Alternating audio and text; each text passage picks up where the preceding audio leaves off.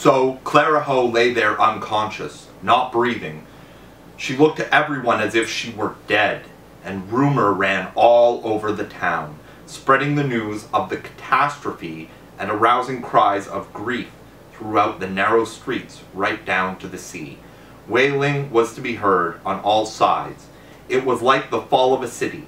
Chaereas, whose heart was still seething, shut himself up all night trying to extort information from the maids, especially Callirhoe's own maid. It was while they were undergoing fire and torture that he learned the truth. At that, in all in an excess of pity for his dead wife, he desperately wanted to kill himself, but Polycharmus would not let him. Polycharmus was a special friend of his, as Patroclus was of Achilles in Homer. When day came, the council impaneled the journey, jury to try the murderer and hurried the trial on out of respect for Hermocrates, and the whole body politic as well gathered in the town square with various excited cries. The unsuccessful suitors incited the crowd to anger, especially the man from Acragas, radiant and proud at him at having brought off a feat beyond everyone's expectations. And something strange happened that had never happened before in a trial. After the speech for the prosecution, the murderer, when his time was allotted him, instead of defending himself, launched into an even more bitter self-condemnation and took the lead in finding himself guilty. He used none of the arguments he could reasonably have used in his defense, that he was a victim of malicious slander, that he was moved by jealousy, that his action was involuntary. Instead, he begged them all, Stone me to death in public. I have robbed our community of its crowning glory. It would be charitable to hand me over to the executioner. That would have been my proper punishment if it had been merely Hermocrates' servant girl I had killed.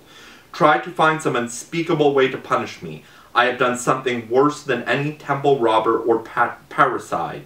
Do not give me burial. Do not pollute the earth.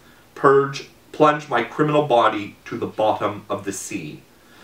At these words, a cry of grief burst forth. Everyone, everybody abandoned the dead girl in sorrow for the living man. Hermocrates was the first to come to Chaereas' defense.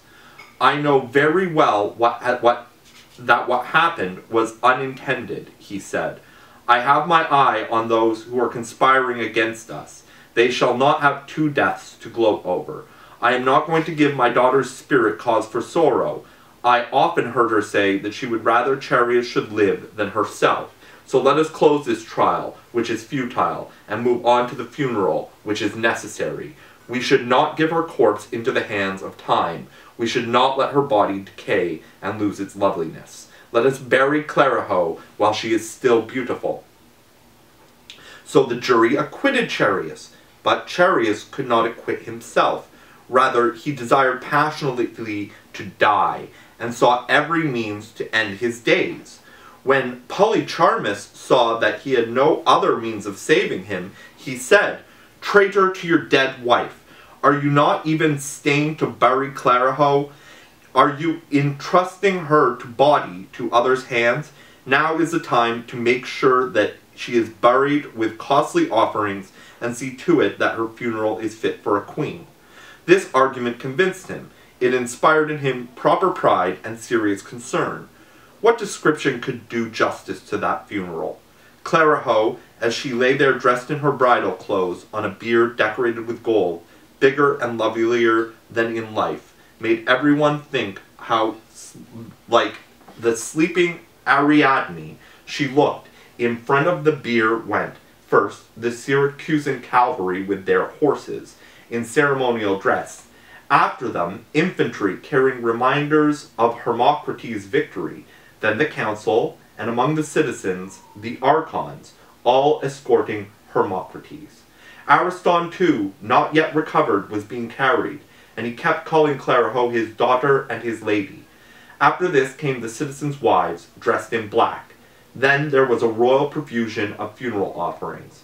First, the gold and silver from the dowry, beautiful clothing and jewelry, Hermocrates added to it a lot of the booty he had taken, and gifts from relatives and friends. Last of all followed Chaereas' wealth. He passionately wanted, if it had been possible, to consign all his property to flames along with his wife's corpse. The bier was carried by the young men of Syracuse, and the rest of the population followed it. Amid the lamentations of the mourners, Chaereas' voice was the loudest. Hermocrates owned a magnificent vault near the sea. On a ship you could see it from far out. This was filled with costly offerings like a votive building. And what was done in the intention of paying honor to the dead girl started a train of greater events.